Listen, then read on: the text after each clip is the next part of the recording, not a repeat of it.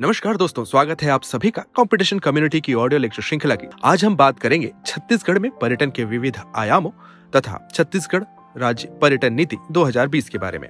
मैं हूँ पारितोष जायसवाल। मानव मन सदा से ही प्रकृति का साथ चाहता है। इसलिए तमाम व्यस्तताओं से बचकर वह जहाँ पहुँचता है, उस छाव में, जहाँ वह खुद को पुनर्नवा कर सकता है। इस प्रक्रिया में कभी वह नदियों को जीता है, कभी पर्वतों को लांघता तो कभी जंगलों को टोहता है। जिस तरह शब्दों का आलोपन चेतना को झनकृत करता है, उसी तरह पर्यटन मन को मयूर कर जाता है।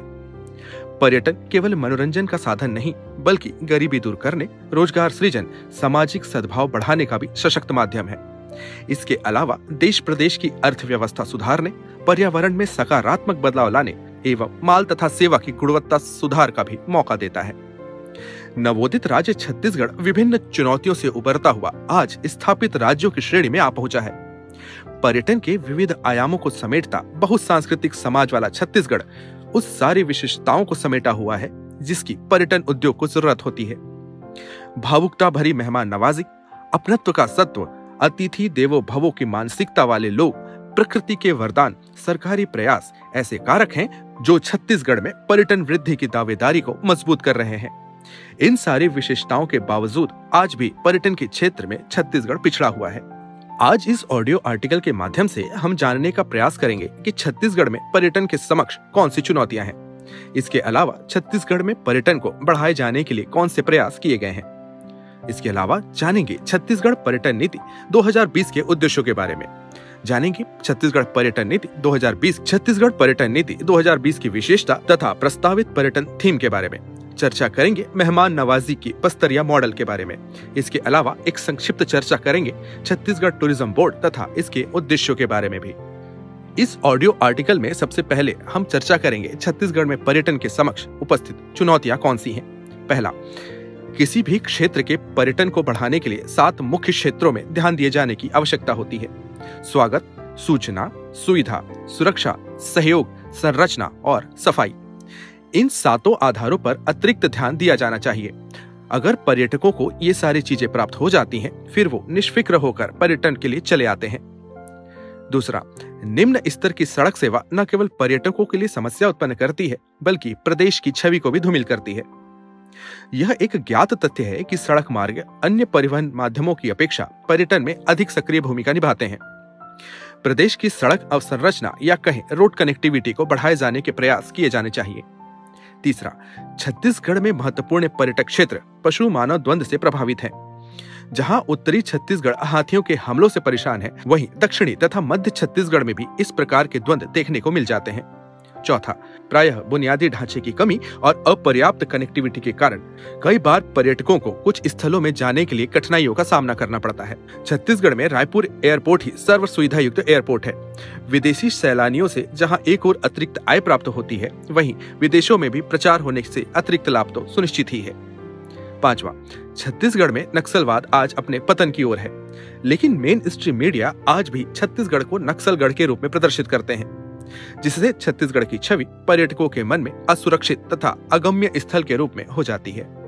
छठवां, पर्यटन और आतिथ्य क्षेत्र के लिए पर्याप्त रूप से प्रशिक्षित व्यक्तियों की कम संख्या छत्तीसगढ़ के पर्यटन उद्योग के लिए एक अन्य चुनौती है, जिसके कारण छत्तीसगढ़ आने वाले पर्यटकों को विश्व स्तरीय अनुभव प्रदान करना मुश्किल हो जाता है। इन सारी समस्याओं से निपटने के लिए छत्तीसगढ़ में, छत्तीसगढ़ सरकार द्वारा पर्यटन को बढ़ाए जाने के लिए कुछ विशेष प्रयास किए गए हैं।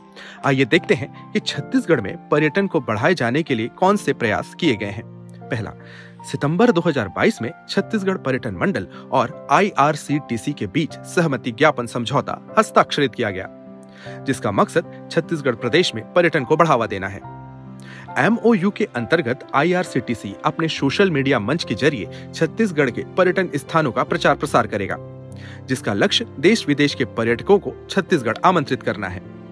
दूसरा, पर्यटकों को छत्तीसगढ़ के पर्यटन स्थलों की जानकारी प्रदाय करने हेतु समस्त प्रयास किए जा रहे हैं। पर्यटकों की सुविधा हेतु एक आठ शून्य शून्य, एक शून्य दो, छह पाँच एक पाँच तथा ऑफिशियल वेबसाइट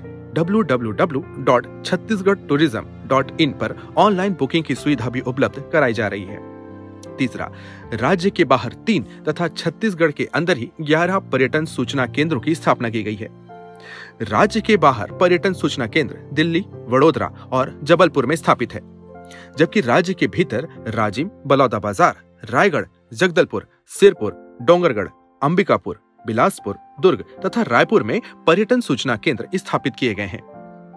चौथा राज्य में जल पर्यटन को विकसित किए जाने के लिए 11 जलाशयों का चयन प्रथम चरण के लिए छत्तीसगढ़ टूरिज़्म बोर्ड द्वारा किया गया है, जिसमें मुरुम सिल्ली धमतरी, सतरेंगा हस्तेव बांगो कोरबा, खूटाघाट बिलासपुर, गंगरेल धमतरी, सरोदा कवर्धा, समोदा बैराज रायपुर, कोडार डैम, महासमुंद, मलेबिया जिला गौरेला पिंडरा मरवाही तथा दुधावा जिला कांकेर शामिल हैं। पांचवा, पर्यटन विभाग द्वारा गढ़बो नवा छत्तीसगढ़ की तर्ज पर प्रदेश में पर्यटन के अनुकूल वातावरण का निर्माण एवं पर्यटन स्थलों का विकास किया जाना है। इसी कड़ी में छत्तीसगढ़ शासन पर्यटन विभाग द्वारा 16 अप्रैल 2020 को छत्तीसगढ़ पर्यटन नीति 2020 का प्रकाशन किया गया। छठवा, छत्तीसगढ़ राज्य के पर्यटन में सक्रिय सहभागिता सुनिश्चित करने, पर्यटन को बढ़ावा देने एवं पर्यटकों की संख्या में वृद्धि किए जाने हेतु राज्य एवं देश के ट्रेवल एवं टूर ऑपरेटर्स का पंजीकरण किया जा रहा है। प्रदेश के 10 तथा प्रदेश के बाहर दो ऑपरेटर्स को पंजीकृत किया गया है। सातवां, प्रदेश के पर्यटन में हॉस्पिटैलिटी इंडस्ट्री की सक्रिय सहभागिता सुनिश्चित करने हेतु तथा पर्यटन को बढ़ावा देने, पर्यटकों को उचित आवास एवं भोजन की व्यवस्था उपलब्ध कराने के लिए छत्तीसगढ़ टूरिज़्म बोर्ड द्वारा 24 निजी होटलों का पंजीकरण भी किया जा चुका है। आठवां, भारत सरकार के पर्यटन मंत्रालय की स्वदेश दर्शन योजना के तहत ट्राइबल टूरिज़्म सर्किट परियोजना के अंतर्गत शामिल जशपुर, कुनकुरी, मैनपाट, महेशपुर, कुरदर, सरोधा दादर, गंगरेल, कोंडागांव, नथिया नवागांव, जगदलपुर, चित्रकोट तथा तीरथगढ़ में अतिरिक्त सुविधाओं का प्रबंध किया जा चुका है। नौवा, छत्तीसगढ़ पर्यटन मंडल द्वारा राम वन गमन पर्यटन परिपथ के 75 स्थलों का चिन्हांकन कर प्रथम चरण में नौ स्थलों में नई सुविधाएँ विकसित की जा रही हैं, तथा पूरे परिसर का सौंदर्यीकरण भी सुनिश्चित किया गया है। दसवा छत्तीसगढ़ में पर्यटन को बढ़ावा देने के उद्देश्य से दिनांक 18 एक 2002 को छत्तीसगढ़ टूरिज़्म बोर्ड का गठन किया गया, जिसका उद्देश्य छत्तीसगढ़ को अंतर्राष्ट्रीय स्तर के पर्यटन स्थल के रूप में विकसित करना तथा राज्य की सांस्कृतिक तथा प्राकृतिक धरोहर को संरक्षित एवं समृद्ध करना है। ग्यारहवा, इनक्रेडिबल इंडिया, भारत सरकार के साथ संबंध होकर 20 दो 2022 को दादा साहब फाल्के फ़िल्म फेस्टिवल 2022 में अंतर्राष्ट्रीय प्रचार प्रसार के उद्देश्य से छत्तीसगढ़ टूरिज़्म द्वारा सहभागिता भी सुनिश्चित की गई थी। बारहवा बस्तर जिला प्रशासन ने ज़िले की प्राकृतिक धरोहरों और सुंदरता को बचाने के लिए पर्यटकों द्वारा फैलाई जा रही गंदगी से कलात्मक वस्तुएँ बनाने की मुहिम शुरू की है। बोतल आर्ट एक्सपर्ट मनीषा रंगारी के माध्यम से बोतल आर्ट प्रशिक्षण की सुविधा सुनिश्चित की गई है। बस्तर जिला प्रशासन के इस कदम से पर्यटन समिति को आय के अतिरिक्त स्रोत भी प्राप्त हो रहे हैं। तेरहवा, छत्तीसगढ़ राज्य सरकार द्वारा विभिन्न देशों में निवासरत अप्रवासी छत्तीसगढ़ियों को एक सूत्र में जोड़ने तथा छत्तीसगढ़ को पर्यटन के विश्व स्तर पर पहचान दिलाने के लिए एनआरआई सेल का गठन किया गया है। छत्तीसगढ़ मूल के कोरबा निवासी श्री पल्लव शाह को समन्वयक मनोनीत किया गया है। चौदहवा, छत्तीसगढ़ सरकार द्वारा महाराष्ट्र के वर्धा स्थित सेवाग्राम की तरह नया रायपुर में भी 75 एकड़ का सेवाग्राम बनाया जा रहा है।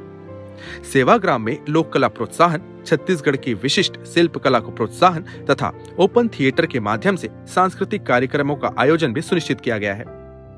निश्चित तौर पर गांधी के सिद्धांतों को जानने तथा पर्यटन का एक नया अनुभव प्राप्त करने के लिए पर्यटकों की संख्या बढ़ेगी। पंद्रहवा, छत्तीसगढ़ के जनजातीय शिल्प, नृत्य, संस्कृति आदि को बढ़ावा देने के लिए राष्ट्रीय आदिवासी नृत्य महोत्सव राष्ट्रीय आदिवासी साहित्य महोत्सव लोक शिल्प जगार महोत्सव आदि का भी आयोजन समय समय पर सुनिश्चित किया गया है। सोलहवा, छत्तीसगढ़ टूरिज़्म बोर्ड, छत्तीसगढ़ तथा अन्य राज्यों के अनुभवी निजी निवेशकों को आमंत्रित कर पर्यटकों को व्यावसायिक दृष्टिकोण से और अधिक सुविधाएँ प्रदान करने के लिए अपने मोटल और रिसोर्ट के संचालन के लिए 30 वर्षों की लीज पर दिया जाना तय किया गया है। छत्तीसगढ़ में पर्यटन के समक्ष चुनौतियों तथा छत्तीसगढ़ में पर्यटन को बढ़ाने के लिए किए गए सरकारी प्रयासों के अतिरिक्त 2020 में छत्तीसगढ़ पर्यटन नीति लाई गई आइए देखते हैं कि छत्तीसगढ़ पर्यटन नीति के प्रमुख उद्देश्य क्या हैं। पहला, पर्यटकों को सुखद अनुभव प्रदान करने के लिए पर्यटन गतिविधियों से जुड़े उद्यमियों के लिए अनुकूल वातावरण प्रदान करना दूसरा, राज्य की सांस्कृतिक एवं पारिस्थितिक विविधता को संरक्षित एवं संवर्धित करते हुए राज्य की मौलिकता को भी बनाए रखना। तीसरा, राज्य में पर्यटन की गुणवत्ता के उन्नयन हेतु पर्यटन उत्पादों एवं पर्याप्त अनुभव तथा सेवा मानकों में सुधार करना। चौथा, राज्य में अर्ध विकसित या अविकसित क्षेत्रों के विकास के लिए पर्यटन को एक मुख्य उद्योग की तरह विकास के इंजन के रूप में जोड़ना। जो स्थानीय सामाजिक आर्थिक विकास, राज्य के बहुमूल्य पारिस्थितिकी तंत्र को सुरक्षित करने तथा समावेशी विकास को प्रोत्साहन देने पर केंद्रित होगा। पांचवा, राज्य में पर्यटन के विकास में सार्वजनिक, निजी और सामुदायिक भागीदारी के लिए अनुकूल वातावरण तैयार करना।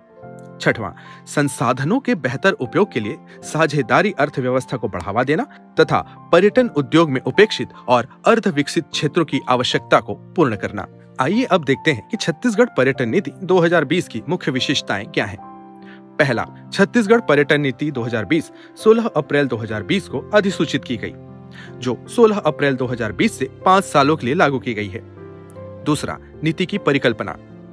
जैव विविधता और सांस्कृतिक विविधताओं से समृद्ध राज्य के रूप में अपनी क्षमता के आधार पर देश के शीर्ष इको एथनिक पर्यटन स्थल के रूप में अपनी पहचान स्थापित करना।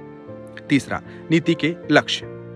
विशिष्ट पहचान और पर्यटन विकास के माध्यम से राज्य में अप्रयुक्त पर्यटन क्षमता का दोहन करना, स्थानीय समुदाय के सशक्तिकरण और सामुदायिक आधार पर आजीविका के अवसर में सुधार करना तथा पर्यटन उद्योग से स्थानीय लोगों के सामाजिक आर्थिक विकास का लक्ष्य प्राप्त करना। चौथा, मार्गदर्शी सिद्धांत। उत्तरदायी तथा सतत पर्यटन के सिद्धांतों के आधार पर प्रदेश में पर्यटन का विकास राज्य के भीतर उत्तरदायी एवं सतत पर्यटन विकास के लिए एक प्रभावी नियामक तंत्र की स्थापना करना। इसके अलावा पर्यटन के क्षेत्र में बिना किसी भेदभाव के सभी के लिए समान अवसर प्रदान करना एवं तथा संस्थागत तंत्र की स्थापना जो जो निवेश के आसान अवसरों को बढ़ावा देगा। पांचवा, नीति की वैधता। छत्तीसगढ़ पर्यटन नीति 2020 पूर्व के पर्यटन नीति 2002 और पर्यटन प्रोत्साहन योजना 2006 तथा पूर्व में प्रकाशित प्रावधानों को अधिक्रमित करता है। राज्य में अधिसूचना जारी होने के दिनांक से पाँच वर्षों तक इस नीति में उल्लेखित प्रावधान पूरे राज्य में समान रूप से लागू होंगे। छठवां, कार्य नीति आशय। पर्यटन नीति 2020 की कार्य योजना शासकीय एवं निजी क्षेत्र के संरचनात्मक संयुक्त प्रयासों से पर्यटन में वृद्धि और राज्य को पहचान देना है। राज्य शासन इस संबंध में चार प्रमुख गतिविधियों को सूचीबद्ध करता है। पर्यटन अधोसंरचना में वृद्धि, आर्थिक अवसरों के सृजन के साथ रोज़गार के अवसर उपलब्ध कराना, पर्यटन अनुभवों एवं सुविधाएँ प्रदान करने के कार्य में स्थानीय समुदायों को सम्मिलित करना तथा पर्यटन के माध्यम से राज्य की अद्वितीय पहचान स्थापित करना है। सातवां, स्थानीय उद्यमी की परिभाषा। स्थानीय उद्यमी से तात्पर्य ऐसे व्यक्ति या स्थानीय व्यक्तियों के समूह से है जो छत्तीसगढ़ राज्य के मूल निवासी हैं, अथवा ऐसी वैधानिक इकाई जिसमें छत्तीसगढ़ राज्य के मूल निवासियों की भागीदारी 50 प्रतिशत से अधिक हो। आइए अब देखते हैं छत्तीसगढ़ पर्यटन नीति 2020 के अंतर्गत पर्यटन प्रस्ताव कौन से हैं। नीति के अनुसार छत्तीसगढ़ देश के उभरते हुए पर्यटन क्षेत्र के रूप में विकसित होने वाले प्रथम राज्यों की श्रेणी में है। छत्तीसगढ़ के तीन थीम बेस्ड जिसमें इको टूरिज़्म आरोग्य या वेलनेस टूरिज़्म तथा एथनिक पर्यटन को शामिल किया गया है, तथा अन्य 11 थीम आधारित पर्यटन को भी सुनिश्चित किया गया है, जिसमें फ़िल्म कृषि, व्यापार, राजमार्ग, औद्योगिक, धार्मिक, धरोहर, जल, साहसिक बैकपैकर्स तथा वन्य प्राणी पर्यटन शामिल हैं। अब बात करते हैं इन थीम बेस्ड पर्यटनों के बारे में पहला इको टूरिज़्म चवालीस प्रतिशत वन्य क्षेत्र राष्ट्रीय उद्यानों अभ्यारण्यों 250 से अधिक बांधों तथा जलाशयों आदि की प्रचुर उपलब्धता छत्तीसगढ़ में है। ऐसे स्थलों की जैव विविधता को संरक्षित रखने के साथ पर्यटकों को विशिष्ट अनुभव भी प्रदान किया जाना लक्षित किया गया है। दूसरा, आरोग्य पर्यटन। 2001 में छत्तीसगढ़ को हर्बल स्टेट घोषित किया गया। छत्तीसगढ़ राज्य में औषधीय पौधों की संख्या 1500 से भी अधिक है, एवं व्यावसायिक रूप से उपयोगी 312 प्रजातियाँ एवं जड़ी बूटियाँ भी शामिल हैं। जो भारत के औषधीय पौधों में कुल निर्यात का 17 प्रतिशत तक योगदान देते हैं। राज्य में हर्बल औषधियों का ज्ञान रखने वाले, संभावित स्थलों की पहचान पर्यटन केंद्रों को विशेष पर्यटन उत्पादों के रूप में विकसित कर छत्तीसगढ़ में आरोग्य पर्यटन को भी बढ़ावा दिया जाना सुनिश्चित किया गया है। तीसरा, एथनिक पर्यटन। अन्य पिछड़ी जनजातीय वर्ग घनत्व के अनुसार छत्तीसगढ़ राज्य देश में आठवां स्थान रखता है। छत्तीसगढ़ के जनजातीय क्षेत्रों में बस्तर शिल्प, कौड़ी शिल्प लौह माटी कला शिल्प, पत्थर पर नक्काशी, सूखे फूलों का शिल्प आदि प्रचलित है। स्थानीय या जनजातीय विशेषताओं से युक्त ग्रामों को चिन्हित कर ऐसे घरों में होम स्टे और बेड एंड ब्रेकफास्ट इकाई के विकास को प्रोत्साहित करते हुए पर्यटन को बढ़ावा दिया जा सकता है। देशज कला को बढ़ावा देने के लिए प्रमुख पर्यटन स्थानों को जोड़कर एथनिक सर्किट जैसे टूरिज़्म सर्किट, हैंडीक्राफ्ट सर्किट एवं हैंडलूम सर्किट आदि का विकास किया जाएगा। चौथा साहसिक पर्यटन। राज्य में भूमि, जल, वायु आधारित साहसिक गतिविधियों जैसे bungee jumping, trekking, rock climbing आदि गतिविधियों का चिन्हांकन तथा समय समय पर बढ़ावा देने की अपार संभावनाएँ हैं। साहसिक पर्यटन गतिविधियों में रुचि रखने वाले पर्यटकों की बढ़ती संख्या की आवश्यकता को पूरा करने तथा निजी निवेश एवं पीपीपी मॉडल की सहायता लेते हुए साहसिक पर्यटन में छिपी अपार संभावनाओं को पूरा किया जा सकता है। पांचवा, धरोहर पर्यटन। छत्तीसगढ़ में आर्कियोलॉजिकल सर्वे ऑफ़ इंडिया द्वारा संरक्षित 48 प्राचीन स्मारक और पुरातत्व स्थल सहित अट्ठावन राज्य संरक्षित स्मारक हैं। भारतीय पुरातत्व संरक्षण द्वारा संरक्षित स्थलों को धरोहर पर्यटन के रूप में बढ़ावा देने के उद्देश्य से सूचना केंद्रों के विकास के साथ अन्य कार्यक्रमों का आयोजन भी किया जाना चाहिए। छठवां, औद्योगिक पर्यटन। छत्तीसगढ़ में कोयले तथा लोहे के साथ खनिज आधारित उद्योग काफ़ी संख्या में है। राज्य में दोहन किए जा चुके खनिजों के परित्यक्त खदानों को पर्यटन के दृष्टिकोण से विकसित किए जाने की असीम संभावनाएँ हैं। राज्य में ऐसे पर्यटन अनुभवों को सुरक्षा के निर्धारित मानकों एवं सुरक्षा के पुख्ता इंतजामों के साथ प्रारंभ किया जाना चाहिए। सातवां, वन्य प्राणी पर्यटन। राज्य में जैव विविधता के संवर्धन एवं वन्य प्राणियों के संरक्षण के उद्देश्य से वन्य प्राणी पर्यटन को बढ़ावा दिया जाएगा। वन्य प्राणी पर्यटन के क्षेत्र से संबंधित गतिविधियाँ एवं विकास कार्य राज्य की वन नीति तथा सुसंगत नियमों एवं प्रावधानों के अनुसार की जाएगी। आठवां, फ़िल्म पर्यटन। छत्तीसगढ़ को एक आदर्श शूटिंग स्थल के रूप में स्थापित करने एवं पहचान दिलाने के लिए व्यापक प्रचार प्रसार किया जाएगा। राज्य में फ़िल्म पर्यटन की संभावनाओं को गति देने के लिए तथा छत्तीसगढ़ को फ़िल्म शूटिंग के लिए पहचान देने के लिए विशेष प्रयास किए जाएँगे, जिसके तहत विभिन्न स्थलों का चयन एवं उन्नयन भी शामिल है। नौवा, एग्रो पर्यटन, छत्तीसगढ़ देश में धान के कटोरे के रूप में जाना जाता है।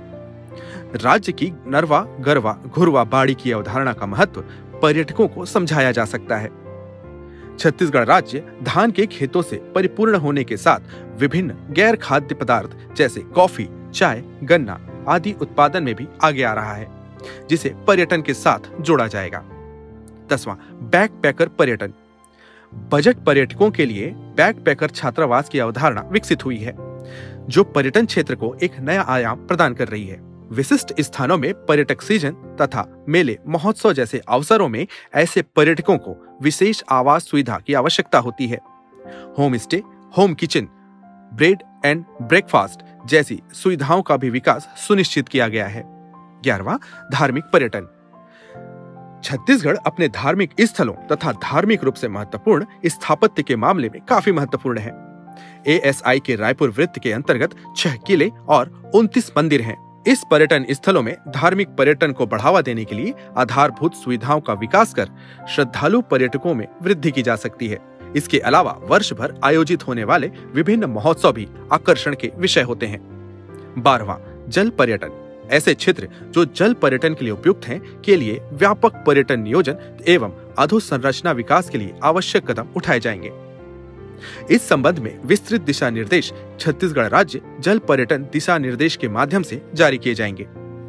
तेरहवा राजमार्ग पर्यटन।